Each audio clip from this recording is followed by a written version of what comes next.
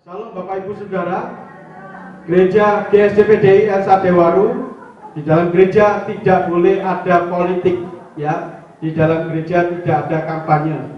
Kita netral semuanya untuk Tuhan, untuk kemuliaan nama Tuhan.